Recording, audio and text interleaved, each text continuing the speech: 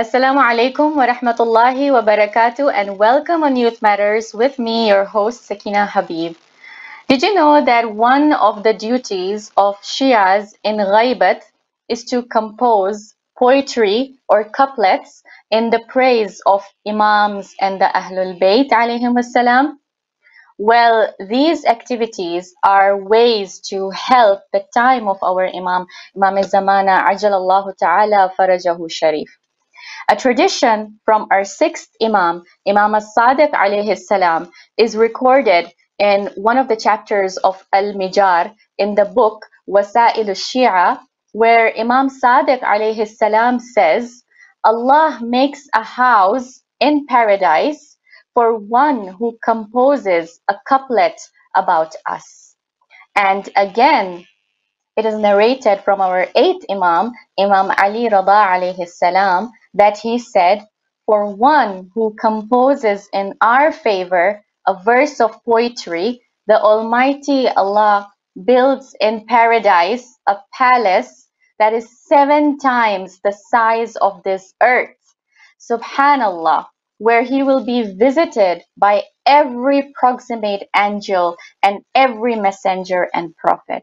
So that is beyond beautiful. And in fact, it is very immeasurable, don't you think? I am pretty much inspired by these hadiths.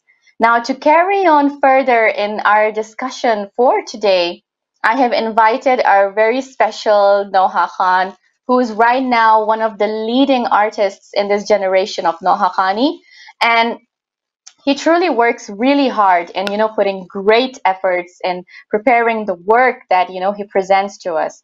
And i personally would like to know from him what goes on behind all the efforts put into poetry uh, composing mastering and bringing out that phenomenal result in front of uh, a worldwide large audience.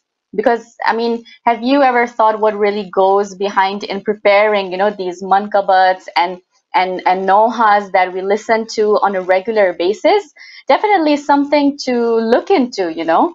So uh, I would like to welcome uh, Yusuf Ali Okera on board with me.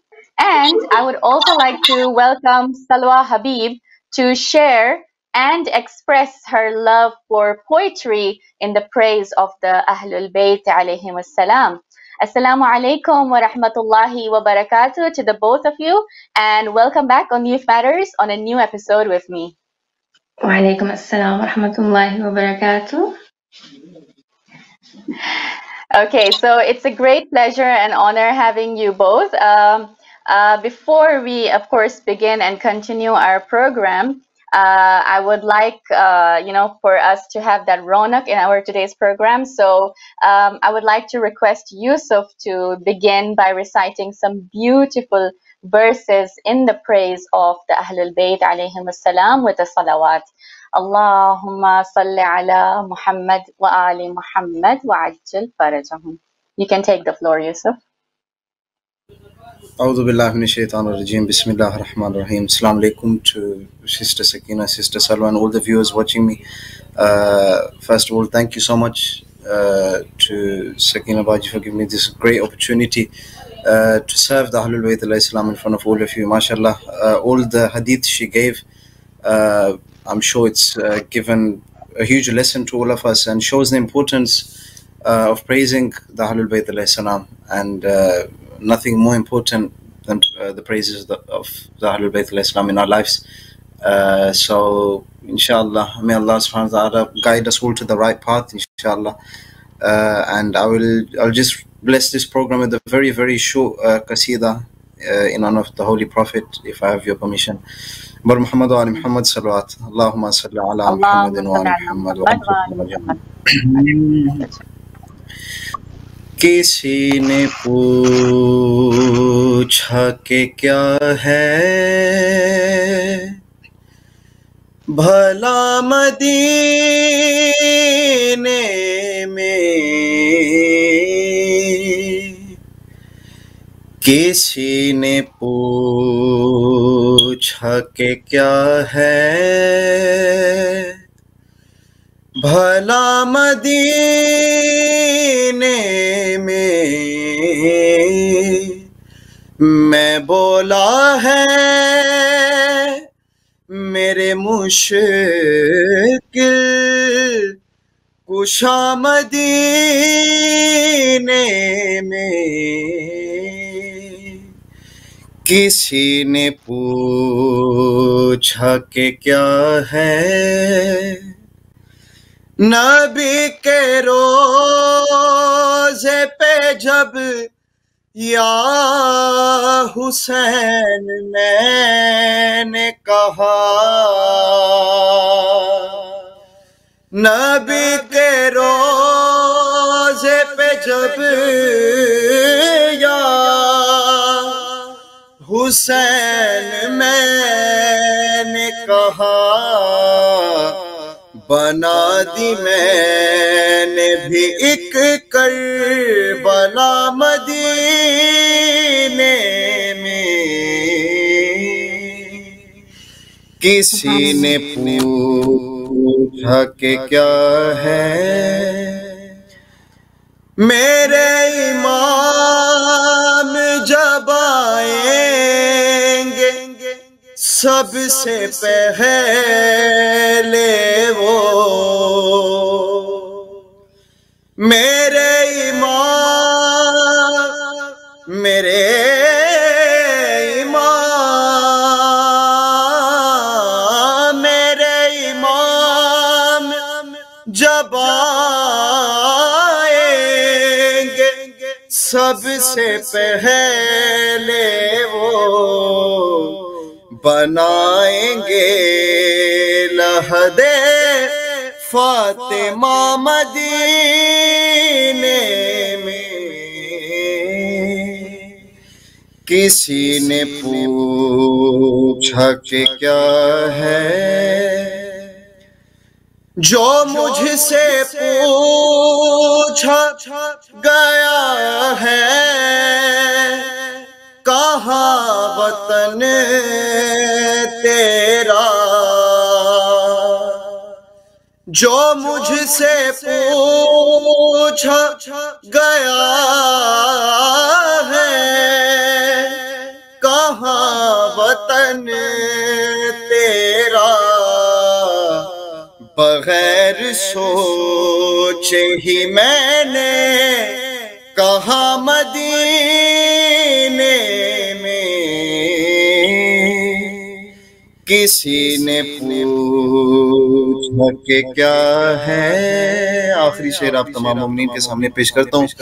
امام اسیر کے آنے کی تم دعا مانگو۔ امام اسیر کے آنے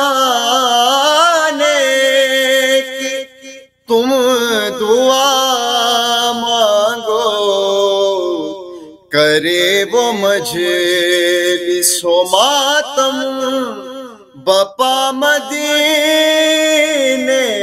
میں کسی نے پوچھا کہ کیا ہے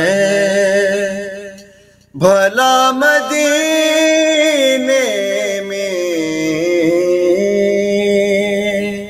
बर मोहम्मद और मोहम्मद सल्लल्लाहु अलैहि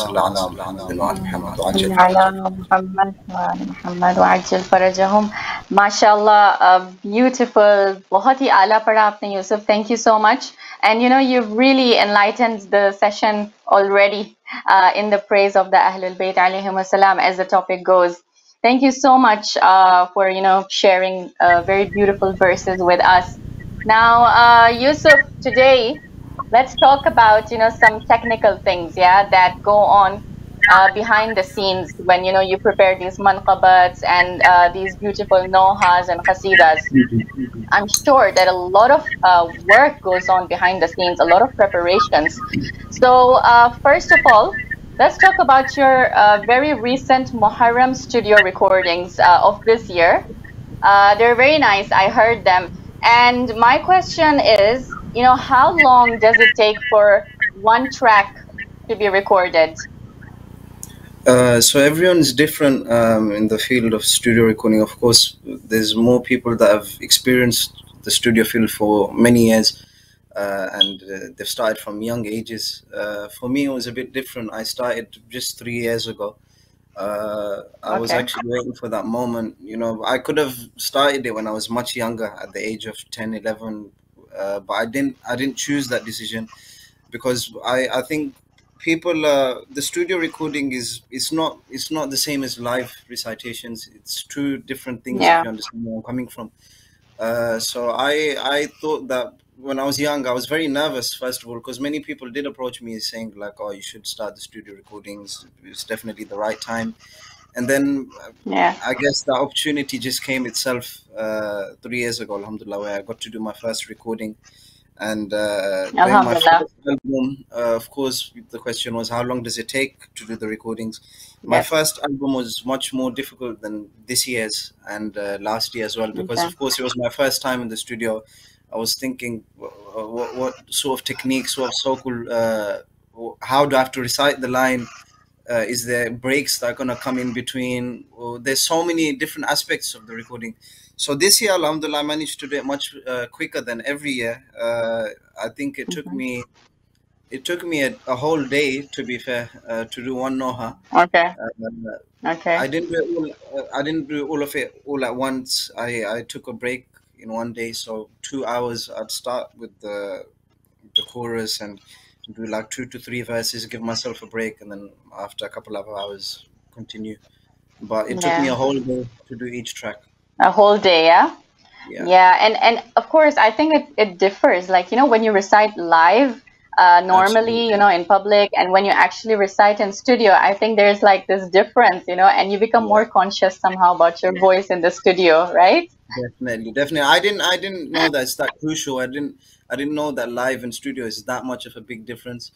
But I guess uh, you can only know how hot the fire is until you touch it yourself. So, uh, Well I, as I said, yeah. uh, I got to know. Agree. Yeah. Yeah, I agree with you. Yeah. Okay, uh, um, Salwa, so um, also about you, okay, I know that you write good poetry, you know, in the praise of Ahlul Bayt and of course general poetry as well, Salwa. So uh, my question to you is that where do you get your inspiration from when it comes to writing poetry? Um, um, Assalamu alaikum wa rahmatullahi wa barakatuh. First of all, uh, thank you so much, uh, Sister Sakina, for having me here. And um, poetry is uh, something that is um, that really uh, that really serves as a source of comfort for me. You know, it is something that I have always turned to um, every time. You know, in times of like despair, even in times of happiness. You know, um, and especially when it comes to poetry of Allah and the Ahlul Bayt. Uh, I don't usually um, share the poetry that I write um, for Allah and the Ahlul Bayt. It takes me a lot of courage to share the poetry that I write in general, and especially when it comes to Allah and the Ahlul Bayt, it takes me more courage to share it because I feel like um, I feel like that is a a secret between myself and them. You know, like I I hold it and esteem and regard it to a very high importance. Although I've had friends and family tell me that I should, um, you know, share my poetry, uh, but I guess I'm just uh, not confident enough to share it yet. But um, in a way, because as I said, that uh, it is what really uh, connects me to Allah and the Ahlul Bayt more. And um, you know, I feel like there are some things uh, like anything. It can be anything. For me, uh, the one thing that uh, like the poetry that I write is um, is like a, a secret between us, you know, and um, Okay. it really comforts me and gives me solace. Yeah. And so basically, like uh, I look at other people's poetries as well, and uh, everything, and uh, then you know, uh, when it comes to Allah and the Ahlul Bayt, uh, words just naturally come to you, you know, Yeah. um, from inspiration, from majalis that you've heard, perhaps, or when you simply remember them, or simply remember all the tribulations that they've been through. Um, so yeah, that is pretty much it. Yeah. Yeah, that's a very good, well summed up answer, mashallah. Um, I can understand where you get your inspiration from. Uh, that's nice. It's a good motivation, you know. Um, now, uh, Yusuf, I'll get back to you. Um, when we talk about your tracks, right? Um, what is the procedure of your track? For instance, uh, you know, poetry, uh, as Salwa said also, uh, is the number one go-to thing, you know, to start off with. So how does that come about? Like, how do you, you know, think about the topics and then, you know, you're penning them down and then the whole procedure basically? Yeah. So, of course, uh, believe it or not, I've already started uh, working on next year's album. I've already started contacting Wow, from now. and and uh, I've literally told them like I know how busy it gets. Just imagine for a poet taking out so much time for thousands of reciters. They have to uh, write so Yeah. much, and and it takes a lot of time and effort. So uh, Yeah. the poetry side, uh, for me personally, plays a very huge role uh, because I believe that when when it comes to the poetry, it has to be something unique and something new for the audience to benefit from. Uh, like uh, Yeah. last year, I could give you an example. Sayyid Raza Bazedi Saab, for example, one noha which I really liked of his, uh, Karime Karbo Wala Mojiza Dikha Dije, uh, which was a phenomenal track, uh, beautifully written by Muslim Dr. Rehan Azmi Saab, great, well-known poet, and someone unworthy like me can't uh, really uh, praise him. But mashallah, uh, having this high standard uh, for the poetry aspect of, of the kalam plays a very uh, huge role because that that kalam in specific I've, I've realized since we've been uh, going through COVID 19 the 18 19 months which have been really difficult uh, you need something new Yeah. to come and just to, to take you back to that old environment that we were in after being virtual and uh, not being able to attend majalis etc so I think uh, the poetry side has made me a bit more strict now. Uh, so for this year, it took it took a lot of time, like every year. Uh, there was a noha which I did of Hazrat Abbas al Islam, "Eh mere ghazi alamdar agar tum hote. Uh, so normally the poet would actually write for you an idea and give it to you, and then you give it to the tuner to make the tune on. Uh, this one was different. Yeah. So he had the tune already, and I sent it to the poet, which made it even more difficult for him because he has to. There's there's Oh, wow. rules in poetry, beher, kafiya, radif. Uh, there's many people who might know about these things. So so when you have a tune first and and you're given the tune first, the idea first, it, it makes it so much harder. And I was thinking, I don't know if I've uh, made it much more difficult for him. I maybe I should have just got the poetry. But uh, mashallah, my dear brother Ali Raza Surani from Mumbai, uh, I I gave him the tune, and I think it was uh, in a few weeks. He was just thinking. He's very strict with poetry as well. He said, "Look, Yusuf, I can give you anything. I can give you anything on the spot. It takes me an hour, two hours, but I want something to be unique. So give me some time. And of course, India was Yeah. affected very badly with COVID 19. So it did take him a lot of time. Being in that right state of mind as well, that also plays a huge role. So, yeah, thinking of the Yeah. topics and whatnot, I guess sometimes it just comes from above. It's, it's not something which you really plan. Uh, me personally, I do plan it. For others, maybe it's different. Like for now, as I've said, for next year, I've already planned uh, what type of nohas I'm trying to uh, record. And even this year, I also had a new kalam uh, on Ashura, which had a very, very, very unique topic, uh, "Khake Karbo Bala Batati Hai, which talks about the soil uh, on the day of Ashura, basically describing the tragedy of Karbala. And uh, Janab Sajjad Uh-huh. Birmingham, uh, very, very educated individual, mashallah.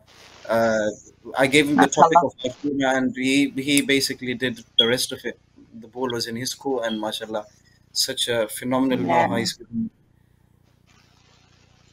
I didn't know all these aspects were uh, really, you know, to be like taken into account. Like uh, this is Yeah. something new actually for me. Like, did you know about this, Salwa? That you know, all uh, these things like play when it comes to penning down poetry. This is like a new, what do you say? Um, like a new subject, basically. Uh, I've never heard of all this. Uh, yeah, I'm, I'm very glad so, we've been we've been blessed to touch upon this, this specific uh, topic because yeah, there's many people who don't really know what goes behind the scenes, and trust me, people like it takes it takes a whole year. Like if I had to start my nohas like uh, today for next year, it's still not enough time because it just is so much Yeah. stress and and you have so much to think about.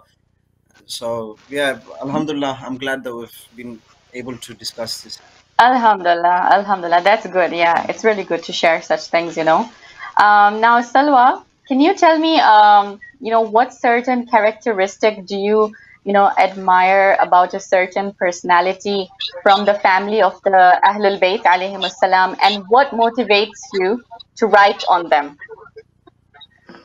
Um, uh, first of all, Brother Yusuf, I think it's really nice to know all the all the hard work and all the efforts that go into making these nohas that we listen to, you know, on a daily basis. And um, I think it's it's really beautiful, you know. Um, as in when we when we listen to a noha or something, we don't really know what all the hard work that is going behind the effort. And like as you said, that you've already started preparing for next Muharram. You know, I think that is that is extremely amazing. Uh, may Allah increase in your tawfiqat and all Noha Khan's tawfiqat, inshallah so that we can keep getting more content like that. Um, and about the about that, um, I think, um, you see, when it comes to the Ahlul Bayt, I feel like there's just no limit, you know, because yeah. um, they just they there's just there's like a sea of beauty and a yeah. sea of knowledge, and there's just so much that like every single passing day with every single passing day you learn so much more about them and you learn so much more about their lives i don't think um, any one person on this planet can really claim that they know an individual of the Ahlul Bayt completely because I feel like there's so much, so many hidden jewels yeah. within them that we still don't know, you know.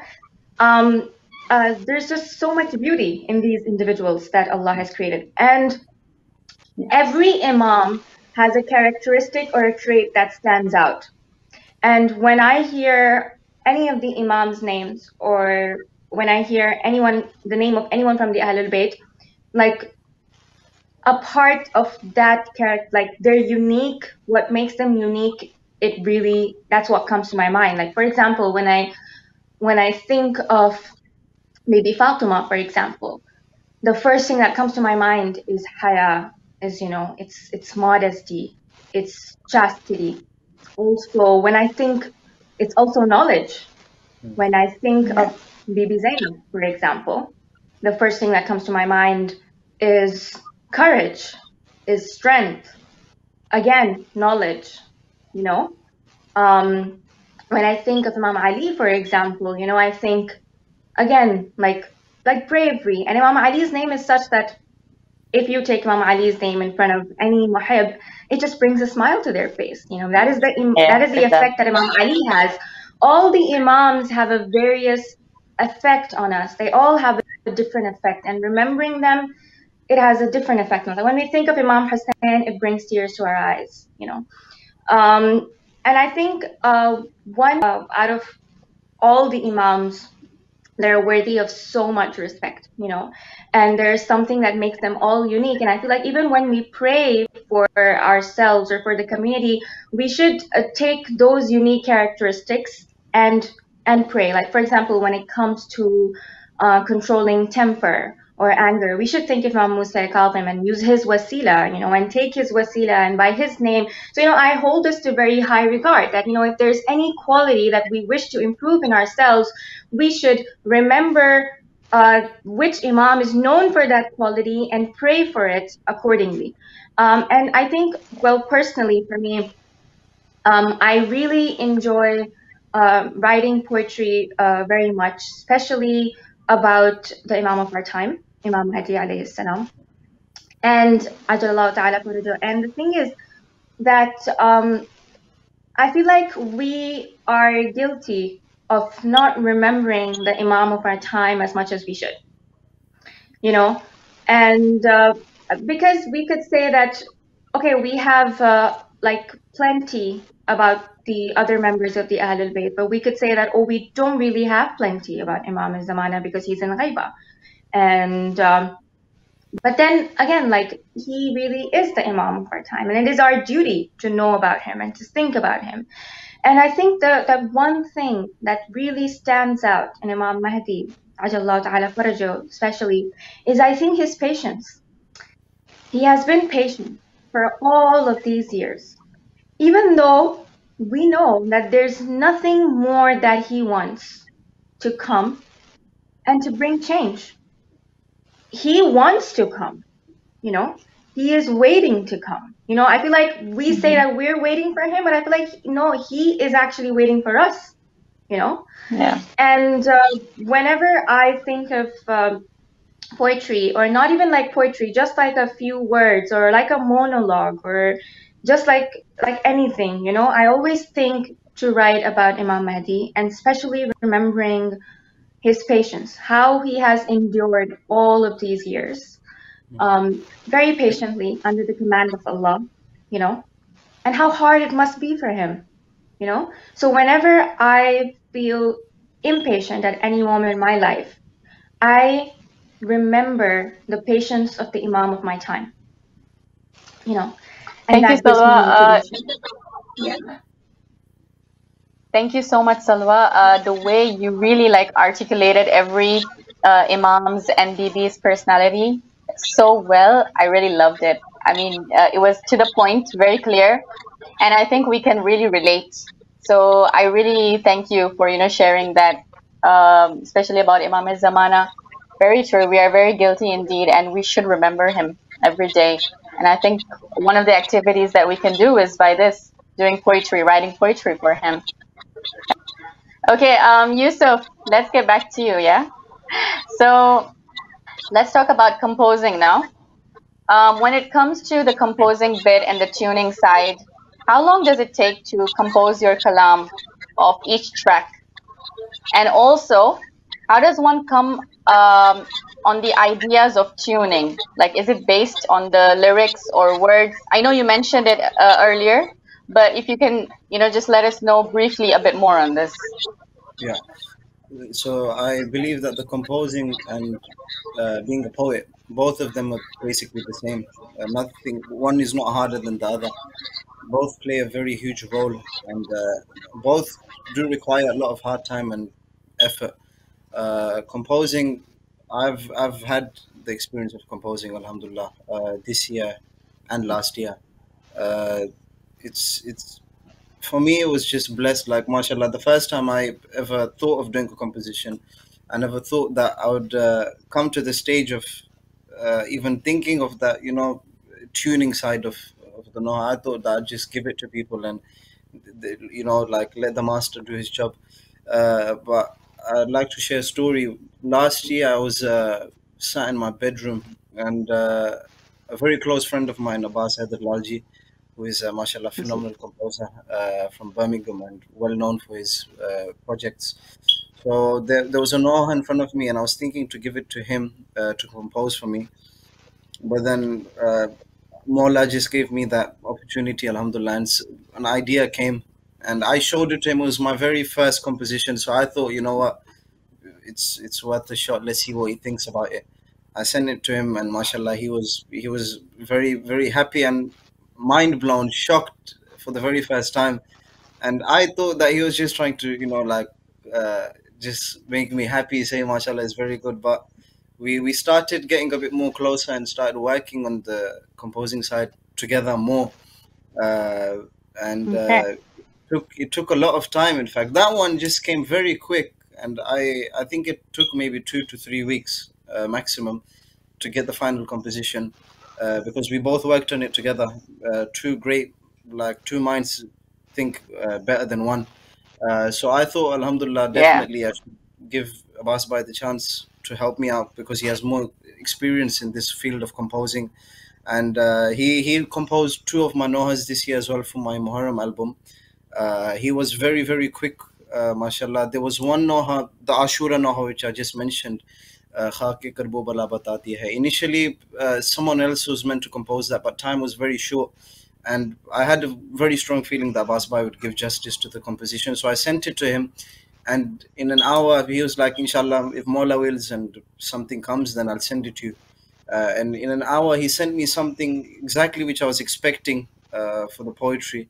Uh, it literally fits basically as you asked as well. Uh, do do reciters compose uh, based on the words to express feelings. I agree. I think I think uh, most of the time this does happen. Uh, you don't really realize it's a blessing from above. It's always a blessing from above. None none of this, whatever we're doing, it's it's nothing from our ability, and it's honestly a blessing of Allah Subhanahu wa Taala by the wasila of Ahlul Bayt al Islam. And uh, Abbas Bhai has done a great job for many of my nohas and all the other composers. There's so many people I've worked with, mashallah, and it uh, the composing side is not easy because there's many scales. The way poetry has its own lo- laws, uh, the the composing side has rags, which which is different scales. Uh, Okay. the way in Quran you'd have maqams, uh, it's very similar. Yeah. Yeah. Well, some maqams, uh, it depends on the theme or the uh, you know the environment of the kalam. For example, you have to do something uh, similar to that feeling. You know, so it, it takes a lot of time thinking. How am I going to do it? Is the audience going to benefit from this noha? Is it something maybe which they can recite Yeah. as well? I don't want it to become too difficult. Something which can benefit everyone. So you have a lot of thinking to do when you do uh, studio compositions. Well, um, I think uh, you've really like explained properly how the you know behind the scene is done because uh, you know people usually wonder like what really uh, how do you come up with the tunes and everything. It's a very difficult question to answer, but Mm. uh, you yeah you've said it you put it right. I mean you've explained. So I'll ask a question uh, to Yusuf. I think uh, you had told me that you wanted to ask him a question. You can go ahead. Yes, please. Um, thank you. Uh, Brother Yusuf, I am also like, I find all of this very, very interesting. So I had a question as well. Um, how long does it take for you to practice a Noha in the studio um, for them to do the chorus? And like, what is the actual role of the chorus?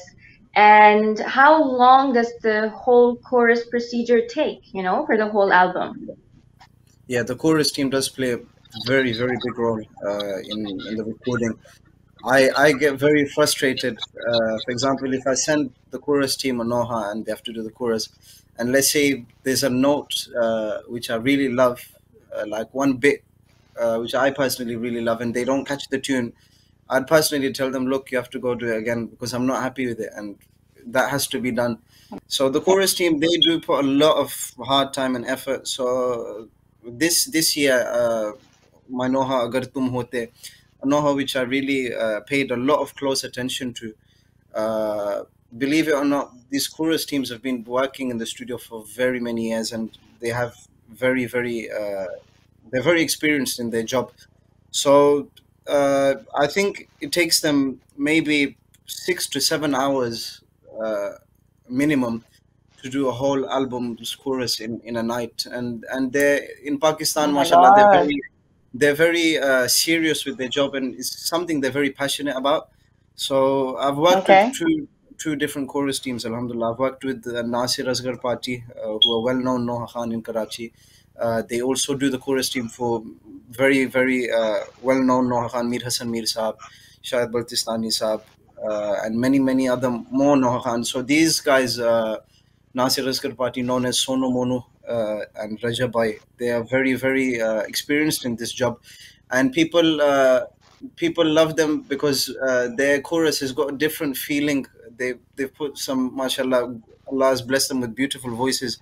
Uh, when they do the chorus, it's it's got that deep voice uh, which makes you feel. It, it honestly gives you goosebumps, believe it or not.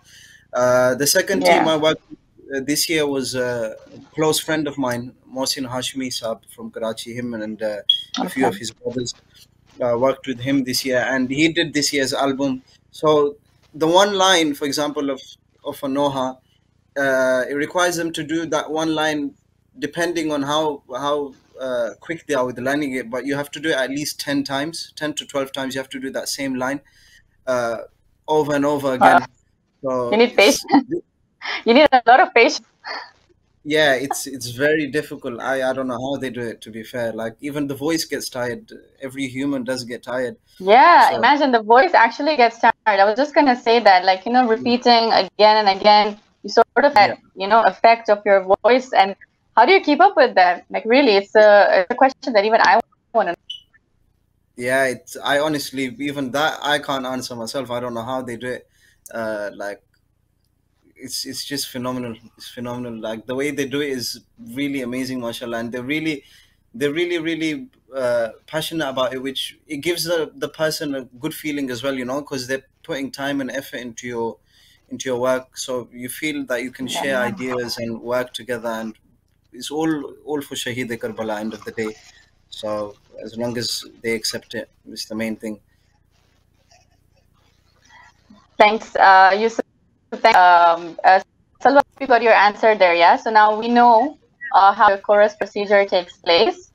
And also, um, um, it's really like a tedious job. You need a lot of uh, consistency. You need a lot of, uh, what do you say, uh, patience, you know, to, to keep up with these things. Because uh, if you lose that consistency, I feel, then, you know, you, you, you- you sort of lose your track also. So it's all all about consistent and there's a lot of hard work really that goes on behind. Uh, you know may allah subhanahu wa ta'ala bless all the reciters all uh, the team effort that goes on behind. Really allah ta'ala may bless your tireless efforts. Uh, this is for all the reciters generally. Um, now Yusuf, I know that uh, we are no more in the in the mourning months uh, of Muharram and Safar, but you know, since we have been talking about your um, album, uh, we would just like to a short clip here uh, uh, so that we can take a look at uh, one of your Noha record, uh, one of your al- from one of your albums for this year Muharram, inshallah. मेरा अठारह बरस वाला ना मरता बासानिए है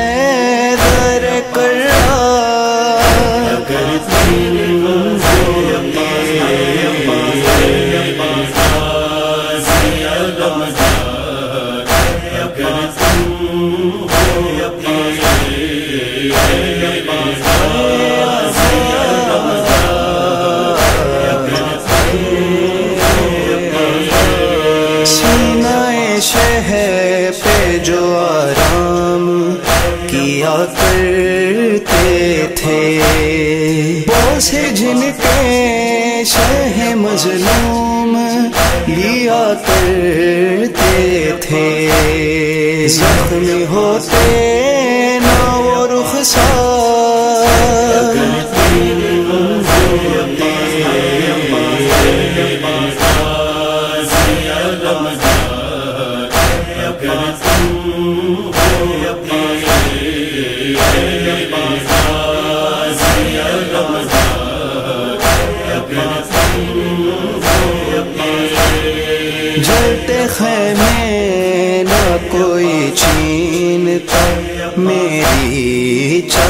دے۔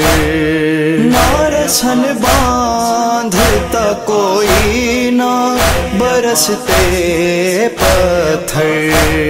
نہ میں جاتی سر باز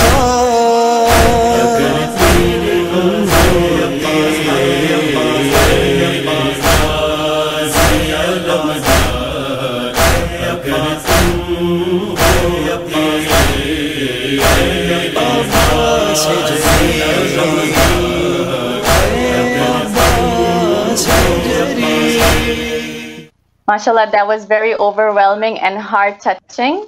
Uh, what beautiful kalam has been shared and uh, a beautiful composition, all Yusuf. I really loved uh, the work that's been done and this. Uh, may Allah bless you again for your tireless efforts.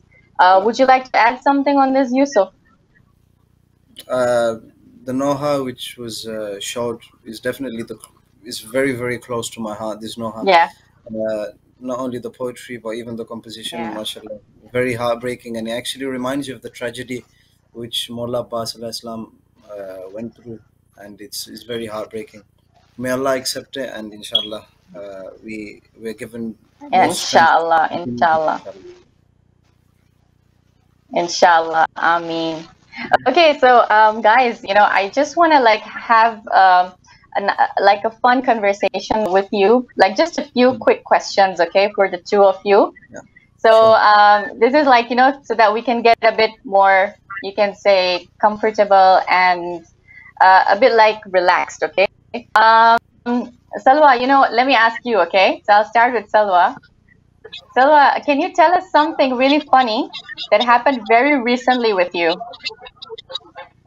Like an incident in public, Um, perhaps, that you messed up. um, okay. Uh, so first of all, um, about me, okay, I um, I have had quite a few embarrassing moments in my life, and I think overall I'm just a, a funny person, you know. So like these kind of things, they usually happen with me a lot. So, but since you asked for the most recent one, so I will tell you the most recent one. No, but actually, literally, like I think um, my cousins as well, and like I think even you as my sister, I think everyone knows that Salwa just always does something which is funny, you know, like it just happens. So, um, recently, actually, um, now that universities have actually uh, finally opened in person, alhamdulillah, Okay, not completely, but uh, to an extent. Not completely, but to an extent. And like some of my classes are in person. Basically, we had the choice to choose in person or online, and I purposely chose some of my classes to be in person because I really missed the university experience, you know, the campus experience, and I like, you know, making friends and like being on campus. You know, it and it even when you're learning, it makes a difference when you're on campus and then when you're online, you know. So, anyways, I was really excited. It was my first day. I was like, this is my first day back to campus. You know, I just can't wait. You know, I was so excited. You know, when I went and um, I came like early. I was like even before time. You know, I was the first one in my class, and then people slowly started coming in and um, and you know i'm very socializing. I like talking to people. So when people started coming in i started talking to them you know hi how are you? Where are you from? So and so you know.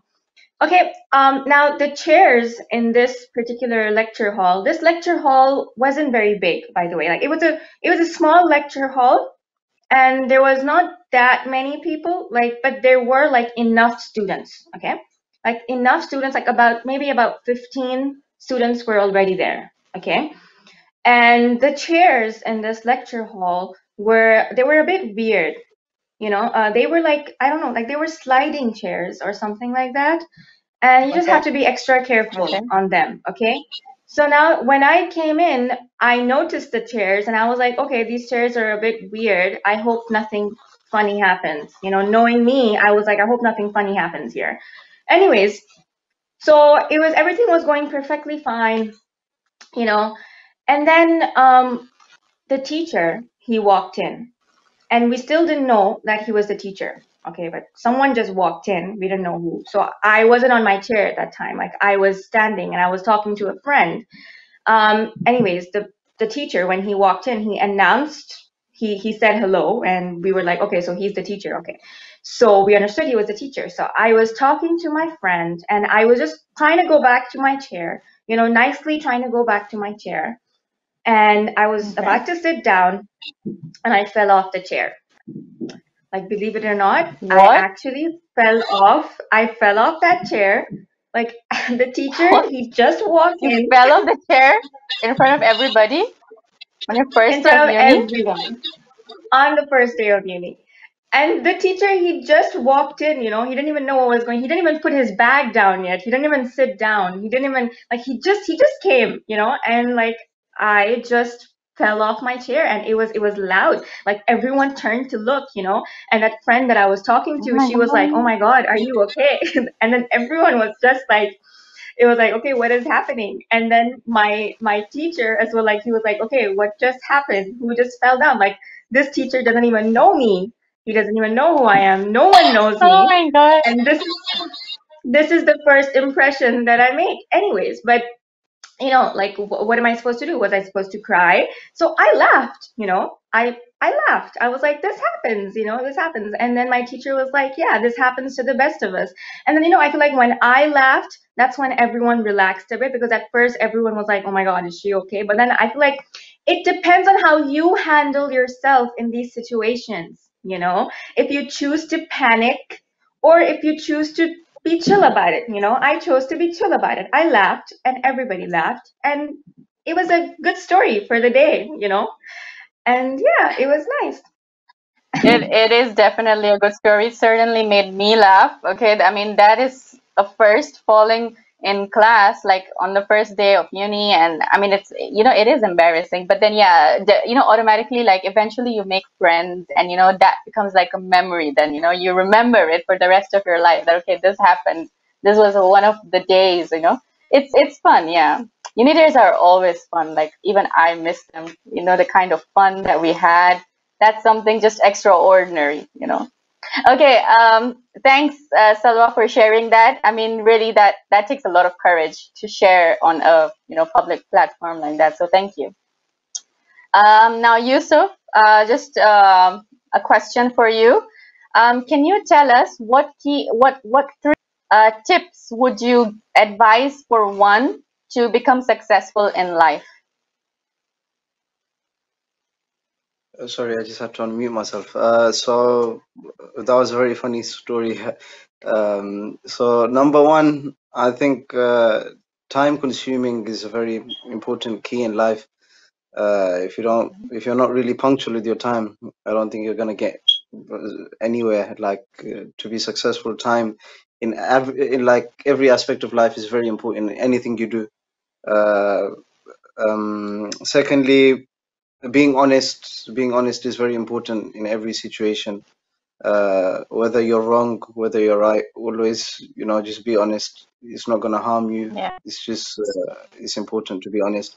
And thirdly always have a positive mindset um related to what Salwa said for example falling off the chair. She was positive about it and uh, end of the day you know everyone had a laugh and it's normal. It happens. So just be happy be yeah. positive. And I guess that's a huge role of success.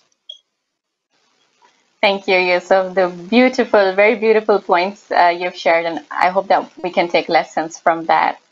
Yeah. So uh, before we wrap the show, is there anything that you, would, you both would like to say or ask me or something? Uh, we're wrapping the show. Yeah, it was. Um, I It think was. Thank you. Yeah, yeah. thank you for having It us here. It was really nice being here. Um, it's always nice um, having you as a host and being on this show. And yet again, this was a really good experience. So thank you so much. Yeah, Yes. Thank. just Thanks to the both of you. Uh, I really appreciate that you guys took out your precious time and joined me for today's uh, session. And I hope that everyone can benefit from what we just conversed on. And uh, we had a great time. So thank you so much. Jazakumullahu khairan. Uh, and wassalamu alaikum wa rahmatullahi wa barakatuh. So I hope that today's session was uh, informative and educational. Uh, you know, we talked about how what really goes on uh, behind the procedure of recording tracks and you know what happens with the chorus uh, what really goes on in the studio. And of course we discussed about the importance of writing poetry in the praise of the Ahlul Bayt alayhim assalam. So um, um, I think there's something really nice things that you know we can ponder upon. And what I would like to end with is that uh, if you let people's perception of you dictate your behavior, you will never grow as a person. But if you leave yourself open to new experiences, despite what others think, then you will learn and grow. And um, you know, always be confident about yourself, believe in yourself, you know, focus, prioritize, set your goal, be broad-minded, and you know, move along with current times and always stay humble at the end of the day. Don't let that ego get to you. So, in, order to become successful in life, these are some of the key points that you can probably keep in mind. Thank you so much. And inshallah, I'll be catching you next week with a very interesting episode and some really inspiring uh, guests. So stay tuned for next week, same time with me on Youth Matters. Uh, wassalamu alaikum wa barakatuh.